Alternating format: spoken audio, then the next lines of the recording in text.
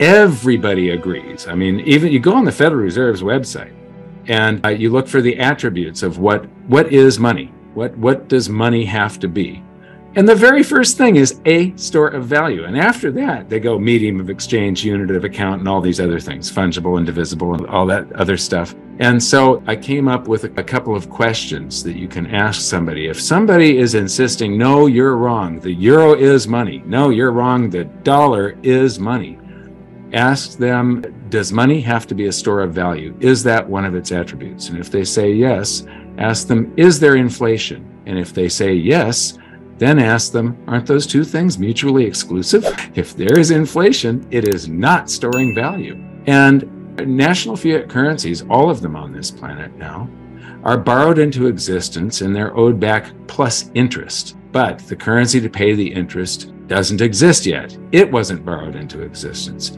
When it is borrowed into existence, you owe interest on that. So if you've got, if you start off with $1, and you're going to owe that plus a dollar's worth of interest. Uh, and then you borrow the second dollar to pay that interest eventually. Now you there's two dollars in existence.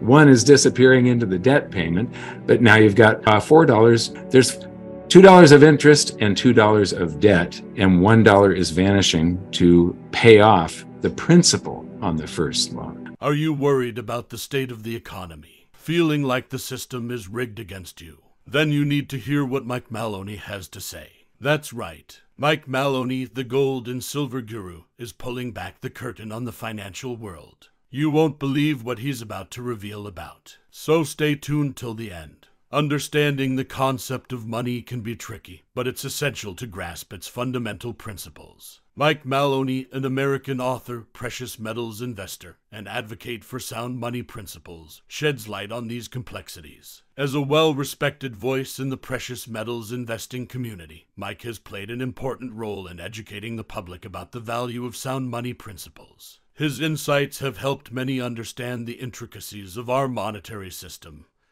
and the importance of safeguarding one's wealth. Whenever you borrow currency into existence, whether it's from a bank or whether it's the central bank doing it. Uh, the currency appears as a double entry bookkeeping thing. There's a debt and a uh, credit, and, and these two things. When you make payments, you're extinguishing the debt that is owed on that balance sheet with the currency that you save up. And so the principal vanishes, but the interest is still owed.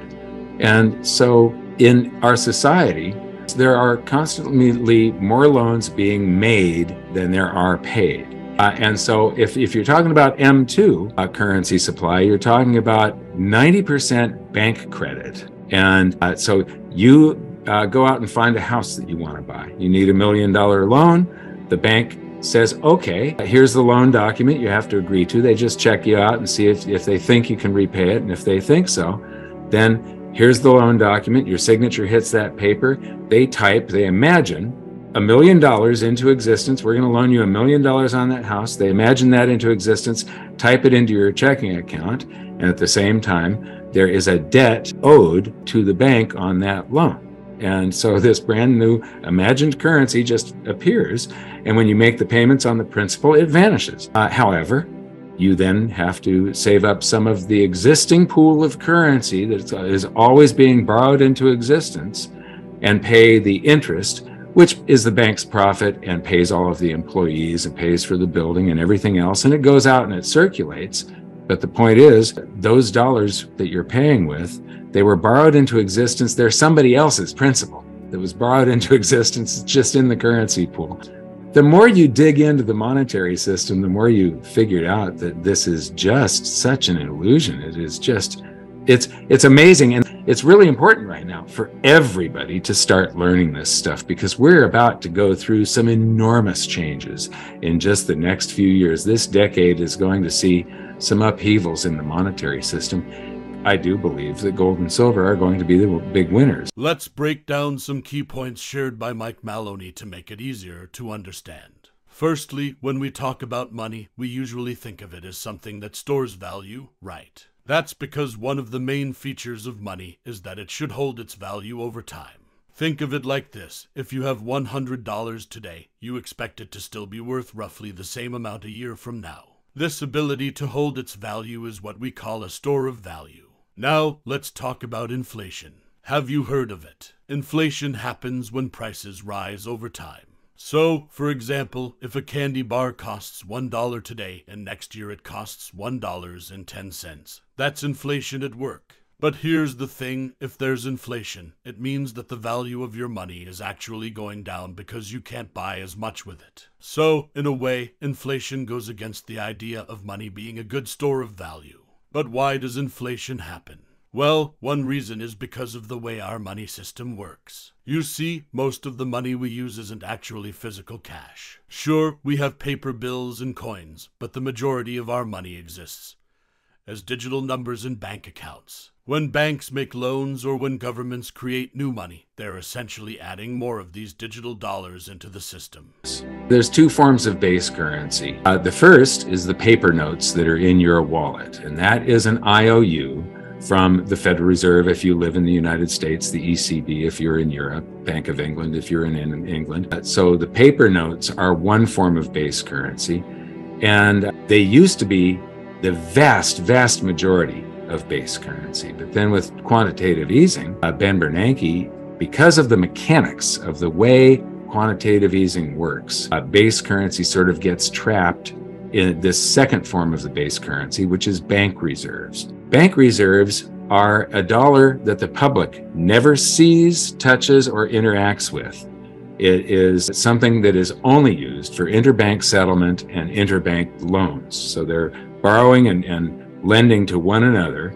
And then when, if I pay you uh, and I write a check to you and you go and cash that check, your bank is going to contact my bank and tell them that you've got a check from me and they'll make a thousand dollars worth of uh, the imagined bank credit currency digits, these dollars that are just uh, digits, which the Bank of England actually states these digits are reminders that the bank owes you an IOU. They aren't even an IOU. The bank owes you the paper note IOUs, the base currency IOUs. So there's about $2 trillion worth of base currency IOUs that we use in circulation, paper notes.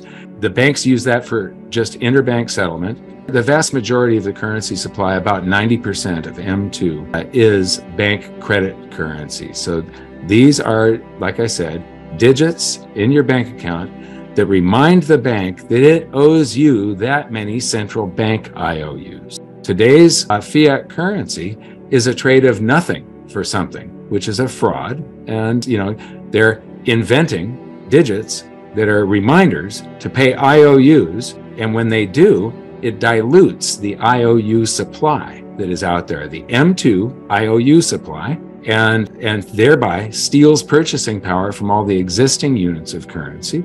Now, let's talk about something called base currency. Base currency is like the foundation of our monetary system. It includes physical cash like dollar bills, but it also includes something called bank reserves, which are digital dollars that banks use to settle transactions between each other. These bank reserves are kind of like behind the scenes money that most people never see or use. But here's where it gets interesting. When the government or the central bank creates new money, it doesn't always end up in your pocket. Sometimes it goes into things like the stock market or into big banks. And when that happens, it can cause prices in those areas to go up, like we talked about with inflation earlier. So imagine this the government decides to create more money and uses it to buy bonds or other assets. Those assets end up in the hands of big banks or investors who then might use that money to buy stocks or real estate. As more money flows into these markets, their prices go up, which makes them seem like they're doing really well. But at the same time, prices for everyday things like groceries and gas might not go up as much because the new money isn't being spent there.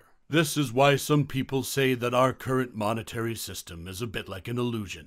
The money we use isn't always backed by something tangible like gold and its value can be affected by things like inflation and where new money is being spent. So, to sum it all up, when we talk about money, we expect it to be a good store of value.